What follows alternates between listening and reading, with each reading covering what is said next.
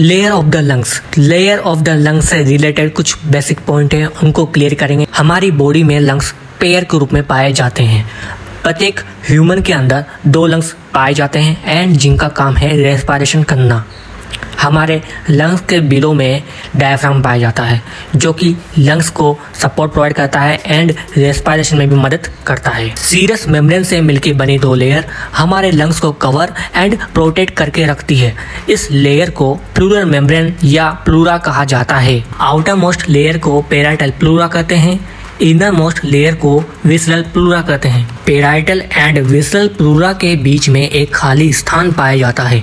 इस खाली स्थान को प्लूरल केविटी कहते हैं। Parietal pleura and visceral pleura pleural cavity के अंदर चिपचिपा फ्लूड सिक्रेट करती है, जिसको प्लूरल फ्लूड कहते हैं। ये fluid parietal pleura and visceral pleura को आपस में टकराव से रोकता है।